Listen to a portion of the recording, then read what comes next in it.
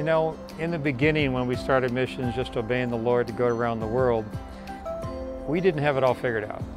We don't want to pretend here after 40 years of marriage and missions that we have all this nailed down.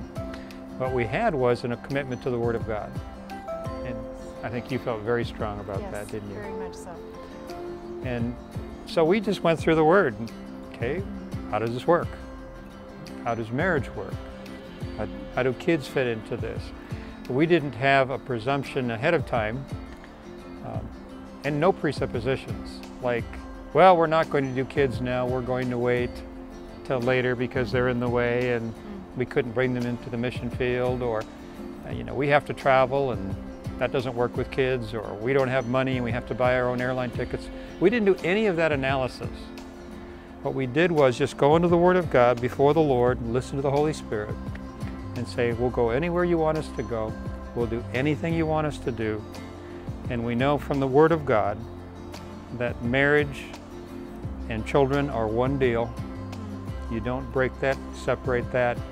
You're married with the idea you're going to have children, and they're a multi-generational blessing. Wouldn't, wouldn't you say that's it, the key? absolutely. I would add to that also that children are a bridge in the mission field. And, and just life in general. I have been able to share my faith with more people because of my children, not, not because I have too many children. Because my children connect me with people locally in my own neighborhood, but it also globally. When you bring a child into the mission field, what happens?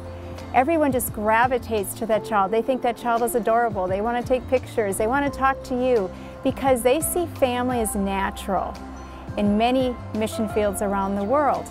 It's unnatural maybe even to go in as one person, but to go in a family, it's very natural. Opens it up. In cultures. We watched this all over, didn't we? Yes. You sit down with other families and meals, but really important here, and we both believe this strongly, the first missions command in the scriptures to be fruitful and multiply, fill the earth, then exercise dominion.